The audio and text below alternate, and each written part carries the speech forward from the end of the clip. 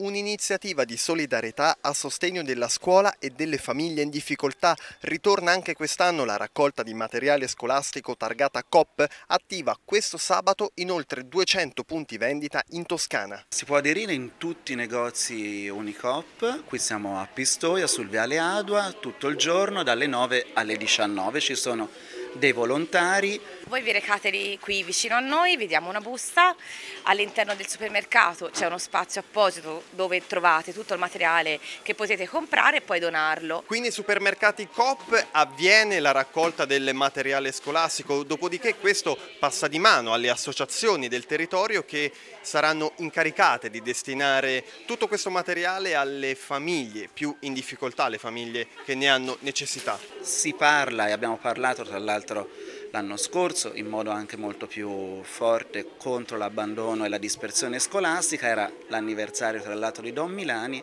questa è eh, la parte pratica appunto di quello che poi facciamo nei confronti di alcune associazioni che si occupano proprio di doposcuola. Loro poi una volta raccolti con, attraverso appunto stamattina e oggi pomeriggio eh, la, i volontari, poi un giorno si mettono e se li dividono e andranno a aiutare quelle famiglie eh, che loro direttamente assistono tutto l'anno.